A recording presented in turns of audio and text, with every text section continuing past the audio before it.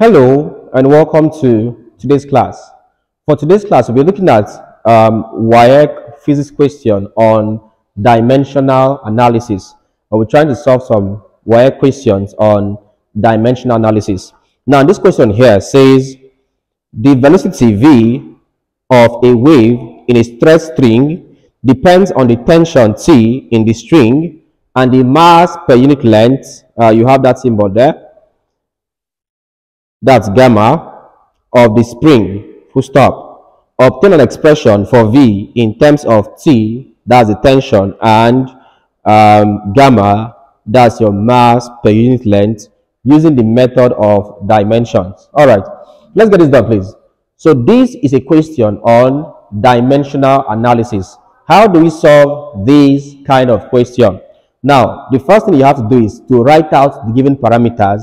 The first thing there says the velocity of a wave. So the first parameter given there, v, velocity, that's equal to the dimension for velocity. The dimension for velocity, now what do we know? We know that velocity v is equal to displacement, which is a length, all over time, that's t. If you write this one here in index form, it's equal to L t to the power minus 1. This becomes the dimension of velocity. So hence, v is equal to lt to the power minus 1. Next up, they said um, of a wave in a stress string depends on the tension. So the second parameter I'm given there, tension T is equal to, let's get the dimension for tension. Tension is simply the force that acts on a stress string. So hence, it means that tension and force has the same dimension. I know that force is equal to mass times acceleration. So if that's true, dimension for mass is capital M times for acceleration, the dimension is L t to the power minus 2. If I combine this, I'm having M L t to the power minus 2. So I'm having dimension for tension as mlt to power minus 2. By the way, if you don't understand how we got these things here, we've already treated this in a previous class. So if you want to get the full tutorial video on how this works, just simply check the description of this video. I'll leave a link to a full tutorial course on dimension. All right, let's continue with this. The next thing there says mass per unit length, which is gamma. So they give us gamma here as equal to, now we are told gamma as being equal to mass per unit length means mass over length. Mass is capital M, length is capital L. If I write this in index form, that's equal to m L to power minus 1. So my dimension becomes m L to power minus 1. All right. I think that's all the parameters we are given here. All right, so if so, we can now proceed to solving this. So I've said, if you don't understand how we got this one here, we've discussed this in our previous classes. I'll leave a link to the description. I'll leave a link to um, the tutorial video on dimensions and dimension analysis in the description of this video. So just check the description. You see um, the link to that full tutorial class. Let's proceed with this. All right. So our next task here says, um, after getting, so your first task when it comes to questions on dimension analysis is to get out the parameters given and their dimension. So after getting this out, what next? Next up, you have to look for that particular parameter in which other parameters depend upon. To get that parameter, you have to read your question carefully. Now check, the question says, the velocity of a wave in a stress string depends on, so it is the velocity that depends on others. So if that's so, it means that velocity depends on this and this. To write dependency in mathematics, we use um, directly proportional.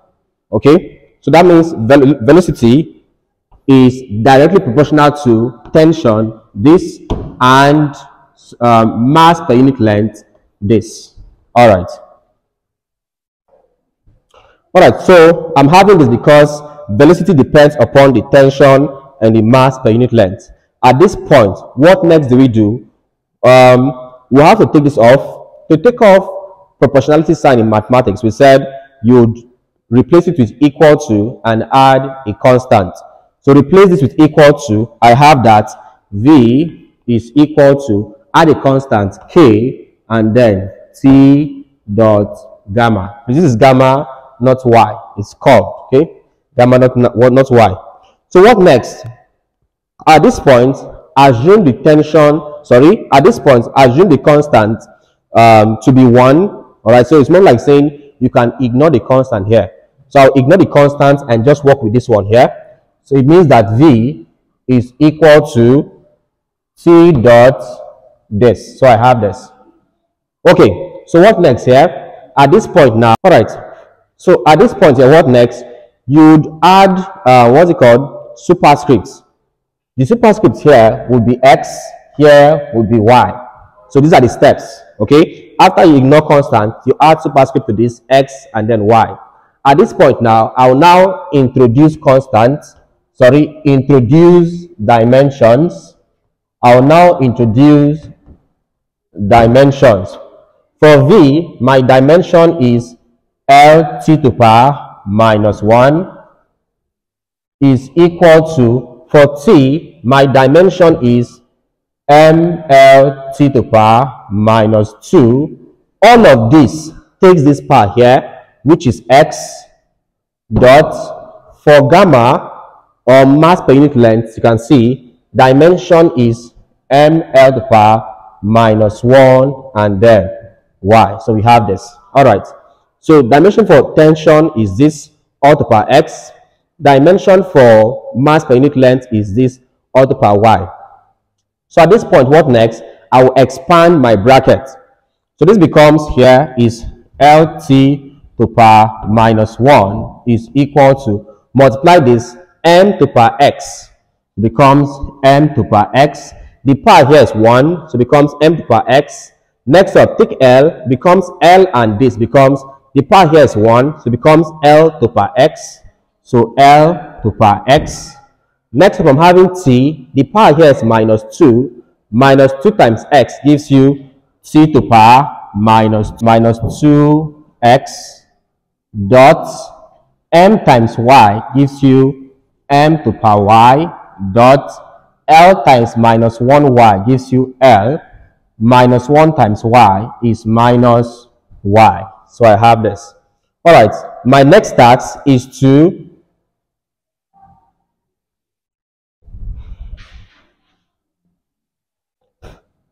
All right, so my next task is to rearrange this in terms of m L, and T. Rearrange this one here, the right hand side, in terms of M, L, and T. So I have L T to power minus 1 is equal to, take the M's first. So I have 2M here, M to power X, and then M to power Y. So it becomes M to power X dot M to power Y. So I'm done with M, that's off. My next task, arrange the L's. So I have this one here. So it becomes L, that's dot, L to power X, dot, this one here, L to power minus Y. Finally, arrange T's. So that I have only one value for T. So T to the power minus 2X. So I have this. All right, so if you're done with this, our next task will now be um, using the idea of indices, which says that uh, the index law says that if two bases, same bases are multiplying, simply add their powers. So hence, I have L t to the power minus 1 is equal to, this is m and m multiplying. I will add up their powers. So it becomes m into x plus y. So x plus y dot get L. So I have L. So it becomes x plus minus y plus minus is minus. So it becomes x minus y. I'm having x minus y. And then I have t here. So it becomes t into minus 2x. So minus 2 x. So I have this. All right. At this point now, our next task will be to compare pairs. All right, so comparing comparing index, so you can say index or pairs, the same thing. Let's start with m. For m, look at the left-hand part of the equation. There is no m, so it means the power is 0 equal to, look at the right-hand side of the equation, which is this. You can see that the power of m here is x plus y. So I have x plus y. This is my first equation. Next up, for L, for L, what do I have? For the left-hand side of my equation, the power of L here is 1. So I have 1 is equal to, for the right-hand side of the equation, the power of L is x minus y. So I'm having x minus y. Call this the second equation.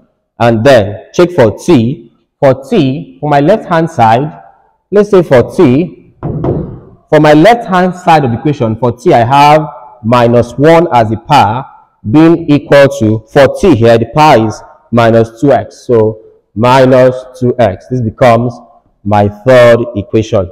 So when I compare the powers, I'll now have about three equations, sometimes four, depending on the number of variables I'm given. All right. So having said that, what next?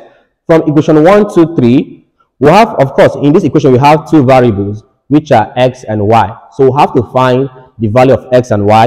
From this, if you look clearly, there's an equation from which we can easily get x, and that's equation 3. So, therefore, from equation 3, we have that minus 1 is equal to minus 2x. To get x, I'll divide here by minus 2, divide here by minus 2. This cancels this. I'm having x, so x is equal to this cancels I have 1 over 2. I've gotten the value of 1 over 2. So my next task will be put the value of x either into equation 1 or equation 2 and I'll have the value for y. All right, let's use from 1. So put x into equation 1. From equation 1, we have that 0 is equal to x plus y. So x plus y. Put x here. 0 is equal to x is 1 over 2 plus y. Move this over here. So moving this is positive. Coming over here becomes negative. Minus 1 over 2 is equal to y. We've gotten x as 1 over 2 and y as minus 1 over 2. All right, so I'll put the value of x and y into this equation here. So we said v is equal to t to power x dot gamma to power y.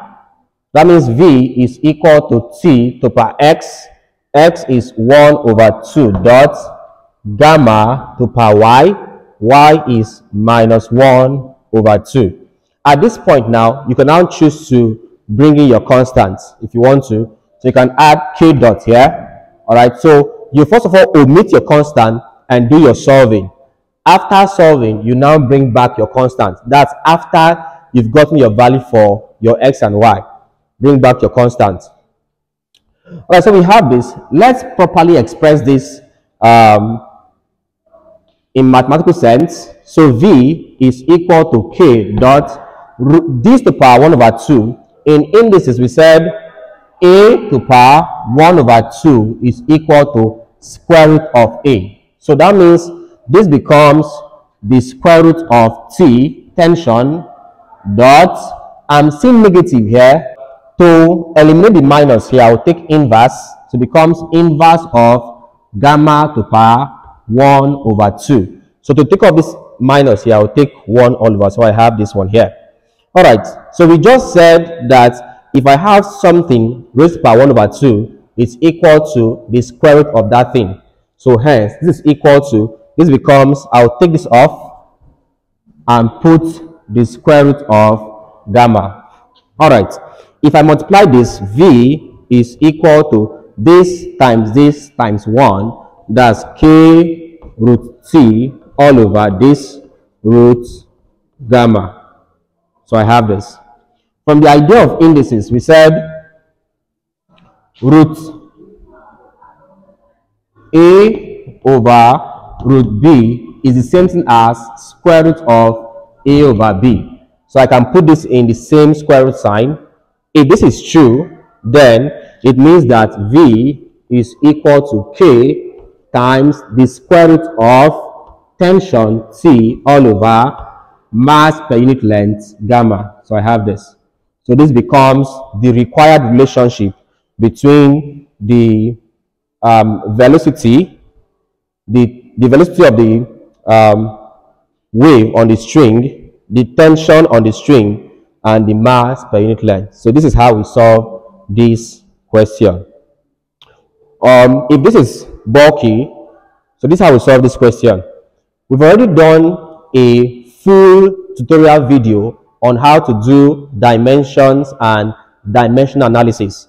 To watch our, two, uh, our full tutorial video, simply watch this video or click on the link in the description. I'll drop the link to our full tutorial video in the description of this video.